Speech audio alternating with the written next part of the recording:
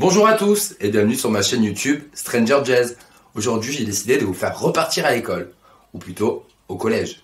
Directement construit sur un ancien camp de lutte celtique d'un hectare et demi datant de 1910. Cette lutte, aussi appelée lutte bretonne, se pratiquait pieds nus, debout et cheveux attachés. Le tournoi s'ouvrait comme au temps de la cavalerie par un défi entre deux villageois. La récompense de cet enjeu était généralement un mouton. Le combat pouvait alors commencer lorsque la foule avait encerclé ces deux lutteurs. Le gagnant pouvait alors se faire défier à son tour au risque de perdre son butin. Le dernier combat eut lieu peu de temps avant la Première Guerre mondiale. Une fois le collège construit, la toute première rentrée scolaire eut lieu en octobre 1927. Et ce malgré un léger retard car le four de la cantine n'était pas encore opérationnel. La première année comptabilisera 55 élèves. Un homme, Matao, et une femme, Marie-Louise, deux figures légendaires de l'établissement, vont consacrer toute leur vie active à régner d'une main de fer leurs élèves et collègues de travail. En moins de 12 ans, ce n'est pas moins de deux changements de directeur et de nombreux départs de professeurs qui vont se produire. Marie-Louise était réputée très sévère et la grande passion de Matao était de crever les ballons des élèves qui avaient le malheur de franchir la clôture de l'enceinte. Une nuit d'octobre 1987, une tempête d'une violence exceptionnelle de 179 km/h s'est abattue sur l'école. Celle-ci se retrouva même sans eau ni électricité. Plusieurs arbres se sont également écroulés dans la cour et une partie de la toiture fut arrachée, mais heureusement il n'y eut aucun blessé. Au fur et à mesure des années, les élèves se font de plus en plus rares, ce qui causera son abandon en 2009 avec une dernière année de seulement 86 élèves. Cinq ans plus tard, un grave incendie eut lieu dans l'ancienne chapelle reconvertie en salle de sport. Fort heureusement, il n'y eut aucun blessé et le feu fut maîtrisé. Tout de suite, le générique suivi de l'épisode.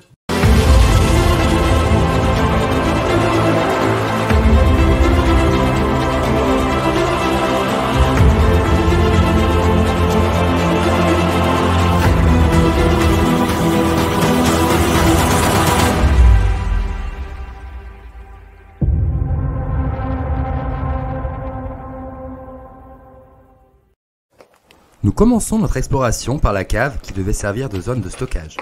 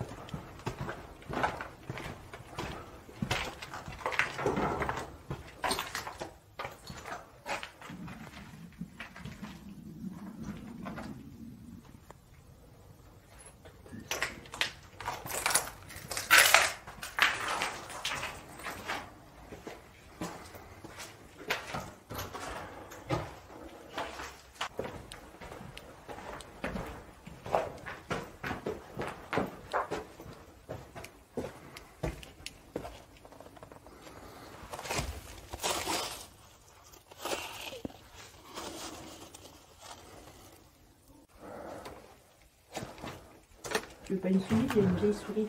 Oh Une souris morte Non, d'ordinateur.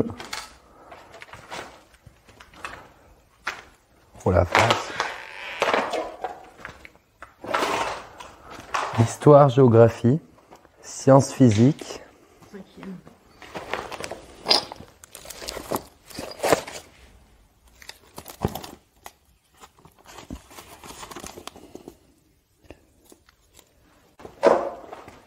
Civique.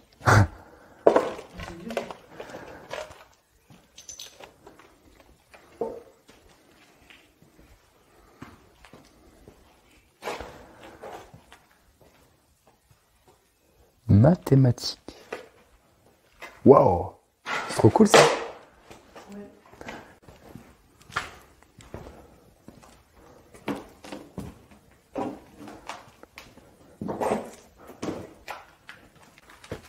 Il vous reste 30 secondes.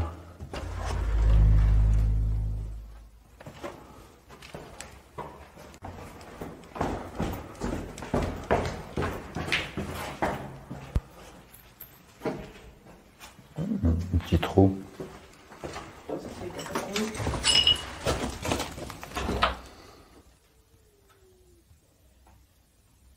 Il n'y a pas d'araignée sauteuse? Non.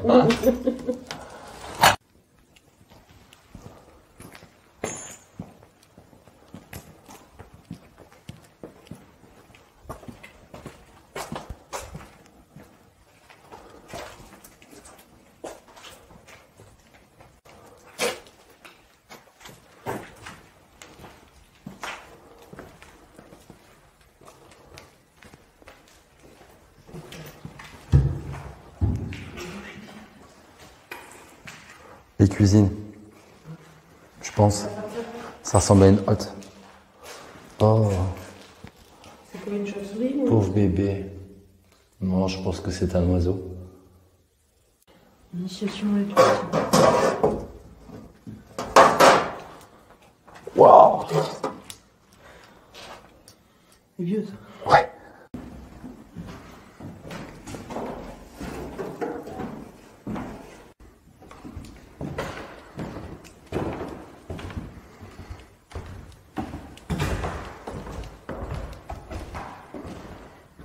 Les salles sont conçues de manière traditionnelle.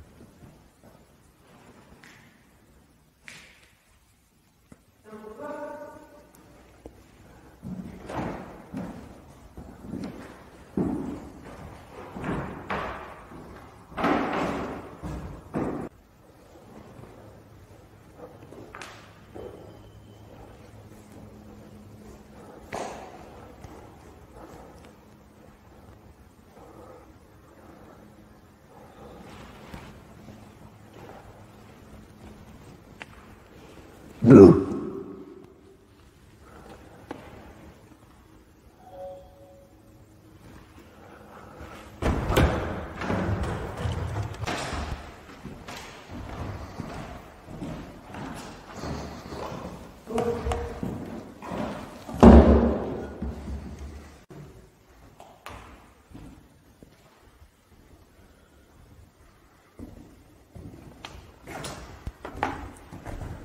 Ah yes.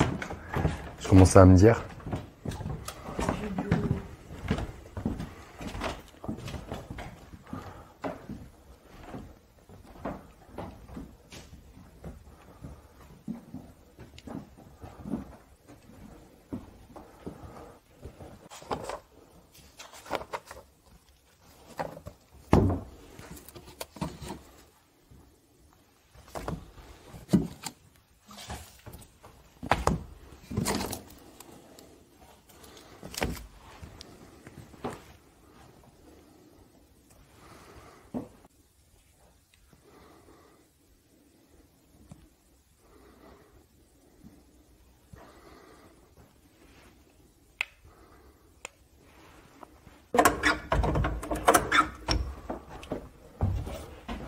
Si, tu mettais des feuilles. Ah ouais Ouais. C'est une ancienne imprimante. Ok. Bien vu. C'est là où ils mettaient les feuilles. Et ça, ils, ils mettaient quelque chose dessus, je pense.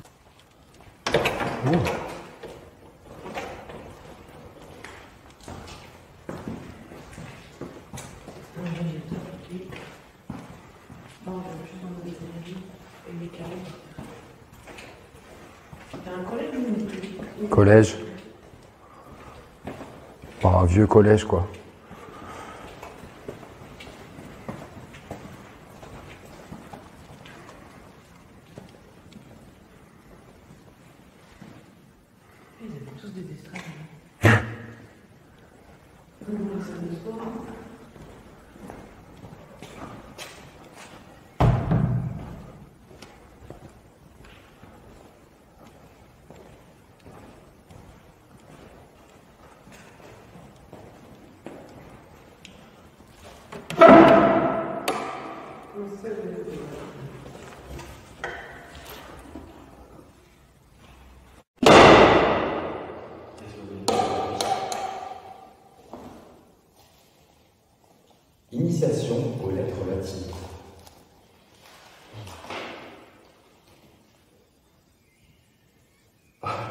Pas écrit en français. Maintenant, c'est du latin.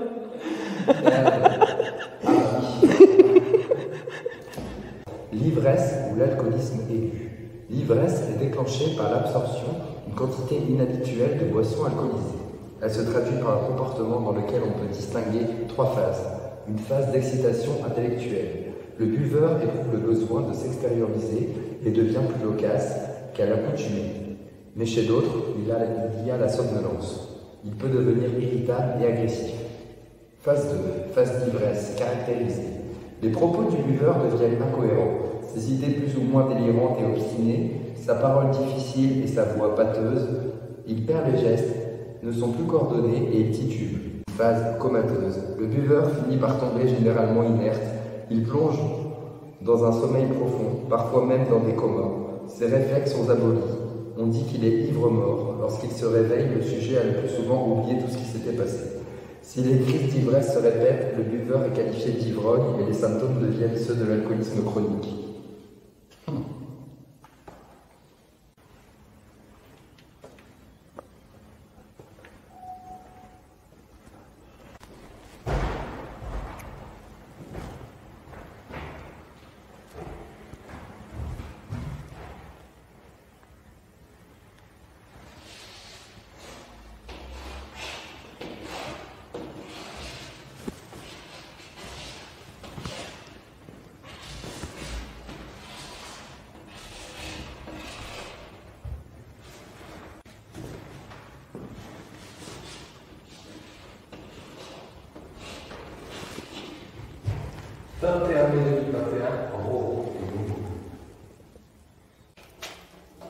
Il était pas en rouge.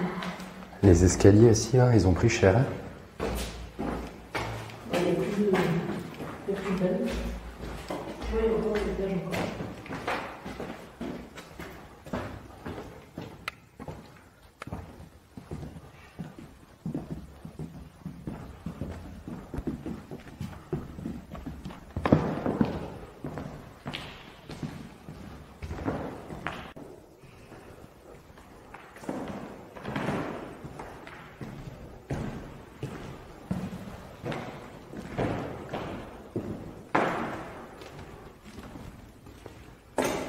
Il y a encore un autre étage.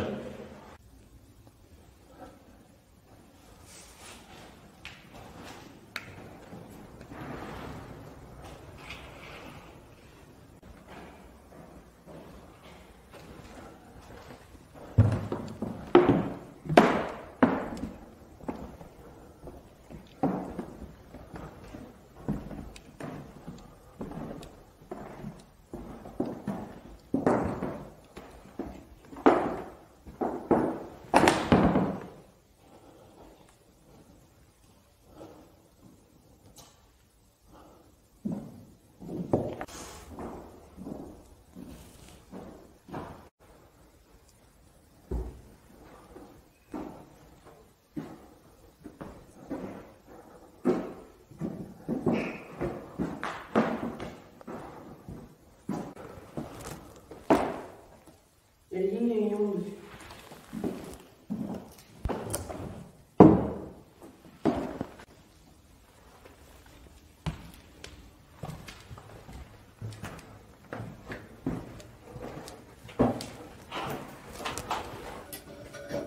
Ah, il y a les- il y a le capelin.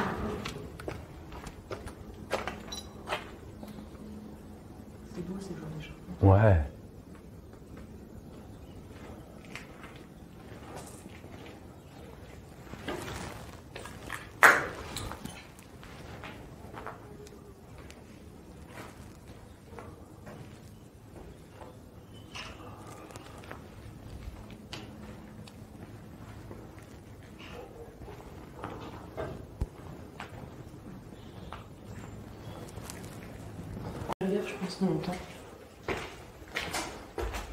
Ouais, attention à notre tête déjà.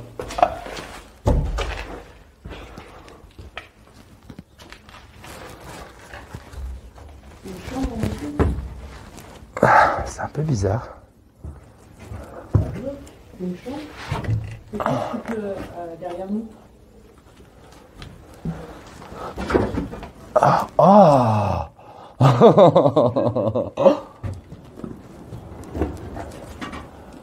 Ah.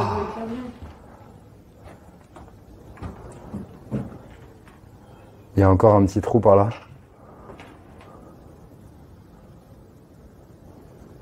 On sent bien l'air froid. Vachement. Et, et, les tuiles, elles sont posées à même, de, à même. Oh. Ah, mais ouais, c'est vraiment un matelas. Si, si. Mais qui pouvait dormir là? Les petits-enfants vraiment passage. Des fois, il y avait, euh, des trucs de, de ouf dans les écoles. Il y a encore un trou par là. Euh, Il y, a bien, y a bien quelque chose en dessous. Ouais, non, il y a que des poutres en dessous.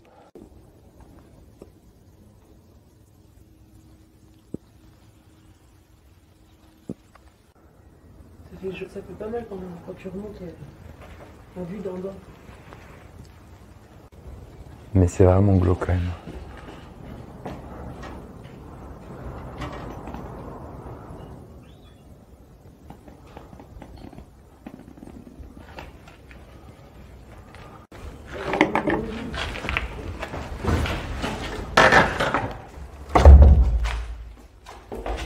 J'espère que cet épisode vous aura vraiment plu. Je sais pas pour vous, mais moi j'ai bien peur que si j'avais été dans ce collège, j'aurais fini au grenier. Et parmi vous, est-ce qu'il y en a qui connaissaient déjà la lutte bretonne, dite aussi celtique? Moi personnellement, je n'en avais jamais entendu parler. On n'hésite surtout pas à mettre un petit like pour le soutien. Si le cœur vous en dit, partagez la vidéo. Et s'il vous plaît, abonnez-vous.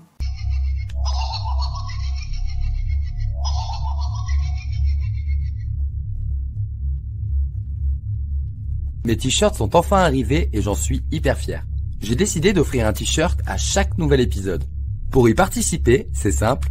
Il vous suffit de vous abonner à la chaîne YouTube et de partager, liker et commenter le dernier épisode mis en ligne chaque vendredi à midi. Je procéderai à un tirage au sort le vendredi suivant. Et si les poupées vous intéressent, vous trouverez les liens dans la description. Bonne chance à tous et à la semaine prochaine